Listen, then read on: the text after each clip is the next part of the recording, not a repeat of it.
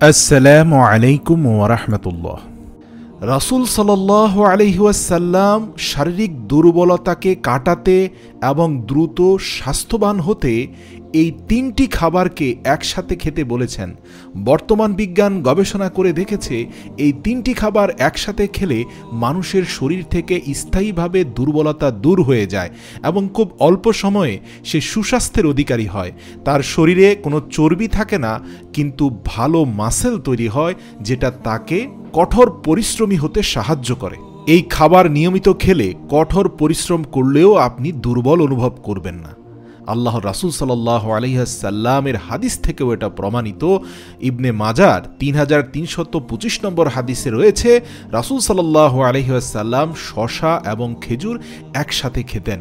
আজকে আমরা জানাব কোন প্রক্রিয়ায় আপনারা এই দুটি খাবার সাথে চাইলে দইকেও যুক্ত করে কীভাবে খেলে অতি দ্রুত শারীরিকভাবে ফিট হবেন, সুস্বাস্থ্যের অধিকারী হবেন এবং আপনার শরীরের দুর্বলতা স্থায়ীভাবে দূর হয়ে যাবে।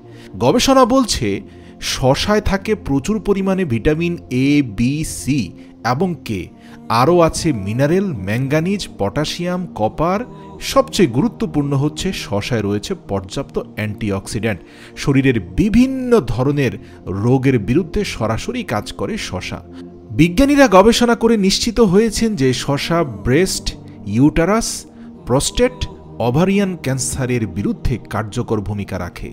হজমে সাহায্য করে, ওজন নিয়ন্ত্রণে ভূমিকা রাখে, কিন্তু শশার সাথে যখন খেজুর খাবেন, তখন কিন্তু আপনি সুস্বাস্থ্যের অধিকারী হওয়ার পাশাপাশি আপনার শরীর থেকে দুর্বলতা চলে যাবে। কিন্তু আপনার শরীরে চর্বি থাকবে না, মাসেল তৈরি হবে। এমনকি রোদে পোড়া চামড়ায় শশা লাগালে ক্ষতি কমে এবং আরাম সৃষ্টি হয়। এবার আসি খেজুরের কথা। ডেক্সট্রোজ এবং ফ্রুক্টোজ হল খেজুরের গুরুত্বপূর্ণ দুইটি শর্করা, যা অতি দ্রুত আপনার শরীরে প্রচুর শক্তি দান করে। সারা দিনের অভুক্ত পাকস্থলীকে যদি আপনি দুটি খেজুর দেন, তাহলে সে পরিপূর্ণ শক্তির অধিকারী হয়ে যায়। এর কারণ হচ্ছে এতে প্রচুর পরিমাণে vitamin A B complex C এবং কে রয়েছে। আমরা জানি যে ভিটামিন সি এবং কে অ্যান্টিঅক্সিডেন্ট হিসাবে কাজ করে, আবার ভিটামিন বি কমপ্লেক্স মস্তিষ্ক শক্তিশালী করে, পাশাপাশি ত্বককেও সুন্দর রাখে। গবেষণা বলছে শশা এবং খেজুর একসাথে খেলে আপনার মস্তিষ্কে আপনার শারীরিক সুস্থতার সিগন্যালটা দ্রুত যাবে। আপনি মেন্টালি অনেক ফিট হয়ে যাবেন, হতাশা কেটে যাবে। এর পাশাপাশি যদি আপনারা দইকে যুক্ত করেন, তাহলে আপনার পাকস্থলীর পরিবেশ ভালো থাকবে পিএইচ এর মাত্রা ঠিক থাকবে। দই হচ্ছে একটি প্রোবায়োটিক দইয়ের মধ্যে ভালো কিছু ব্যাকটেরিয়া থাকে যা পুরো শরীরে রোগ প্রতিরোধ ক্ষমতাকে বাড়ায়। এমনকি শশা এবং খেজুর একসাথে খেলে যদি কারও গ্যাসের সমস্যা হয়, এর সাথে দই যুক্ত করে দিলে বদহজম একবার স্থায়ীভাবে দূর হবে। মনে রাখবেন, টক দইটা খেতে হবে, মিষ্টি দই না। তো স্ক্রিনে দেখানো পদ্ধতিতে আপনারা প্রত্যেকটা খেজুর থেকে বিচিগুলোকে অপসারণ করবেন করে ছোট ছোট টুকরো করা শশার দুই পাশে খেজুরকে যুক্ত করে একসাথে খেজুর এবং শশা মুখে দিয়ে ভালোভাবে চিবিয়ে খাবেন। আর এর সাথে যদি আপনারা দই খেতে চান, তাহলে চাইলে টুকরো টুকরো শশা এবং খেজুরের সাথে দইকে একসাথে মিশিয়ে চামচ দিয়ে খেতে পারেন।